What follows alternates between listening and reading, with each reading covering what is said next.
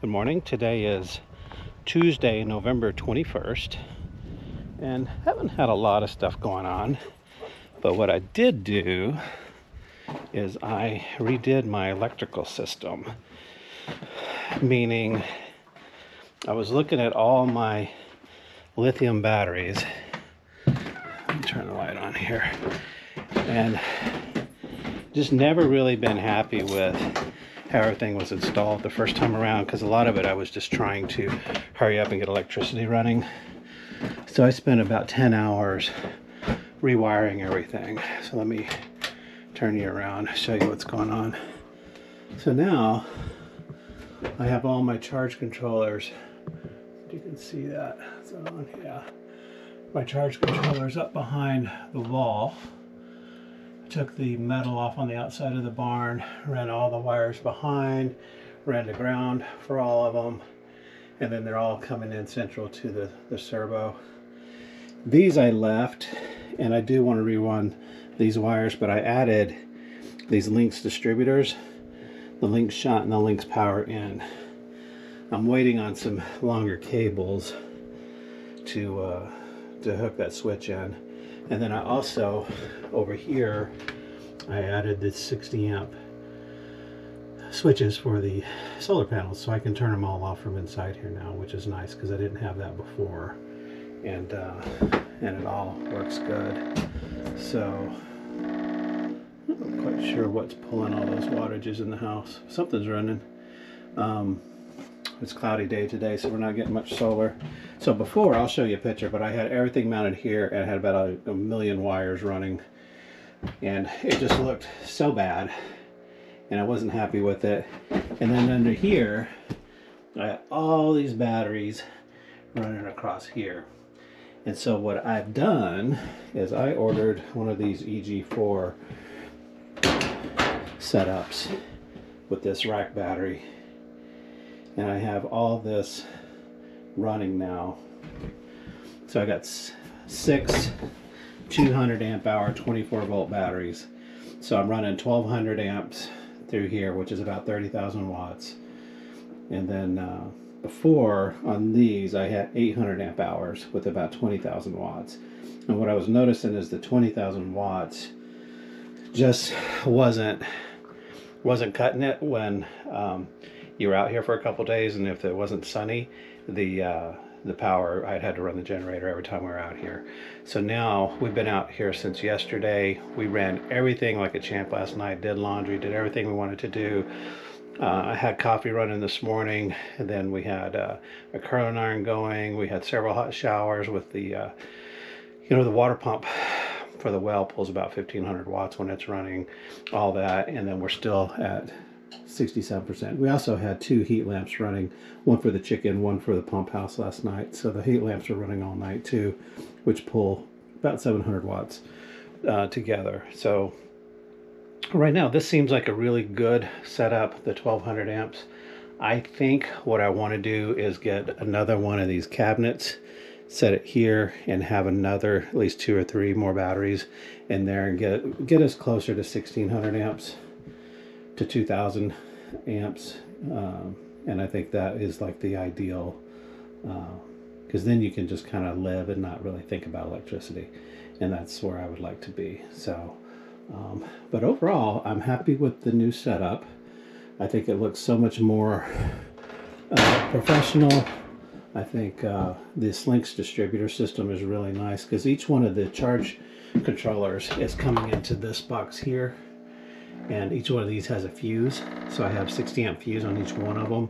And um, if it goes bad then it, pops that fuse and then the others are still running on the uh, the multiplus quattros uh, they're called quattros not multiplus but on the quattros they go in here and then um, I have 150 amp fuses on these each and then the cables are three foot cables each so they're both the exact same length running into this distributor and I have those fused. And then on the ones that are not hooked up you have to put another fuse in there just so it doesn't have red lights flashing and so I did that. And then the shunt is running directly into the Cerbo and that tells me uh, with the power and everything in and out.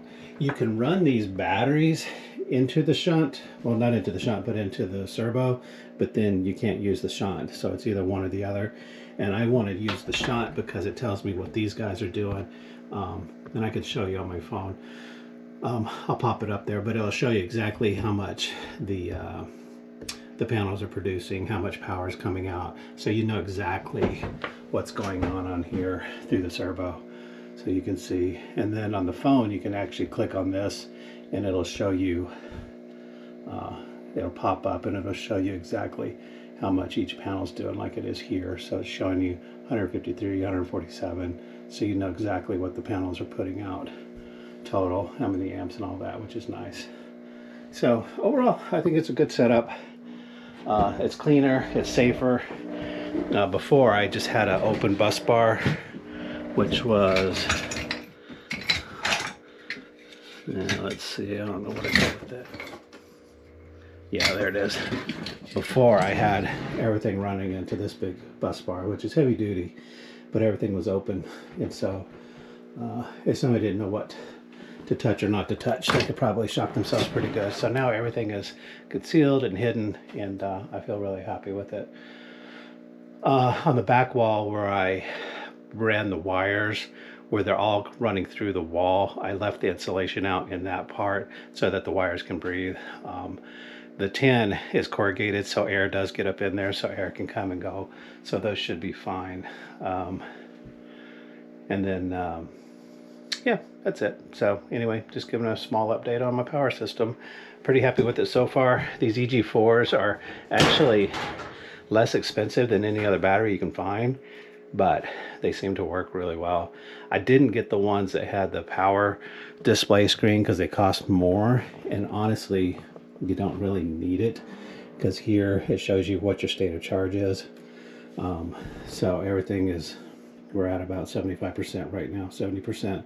So you, all you need to know, then through the Cerbo, I know exactly where the batteries are at. So I don't really need to spend extra money on the screen is the way I looked at it.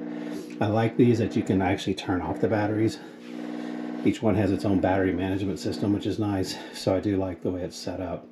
Um, it's just easier, cleaner. And uh, I'm actually going to be selling all these batteries. I have 16 of them right now on Battle Born's website. They're going for about $950 each. And I was thinking about listing them for $650, $700 each. 700 includes shipping. So um, if you're interested in that, I'm going to be listing those shortly. You can uh, uh, DM me if you're if you're really interested. Um, they're only two years old. They have a warranty for I think 10 years. So there's a lot of life left in these things. Um, I didn't have any problems with them at all.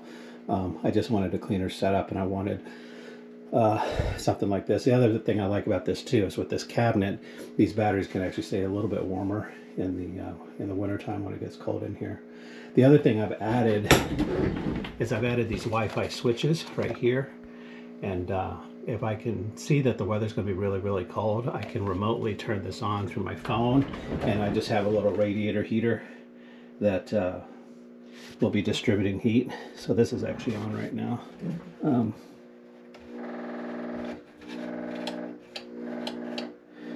so I can turn that on and it will keep the room warm. So that's nice too. So, um, but that's about it. All right. So uh, thanks for watching and I'll see you next time.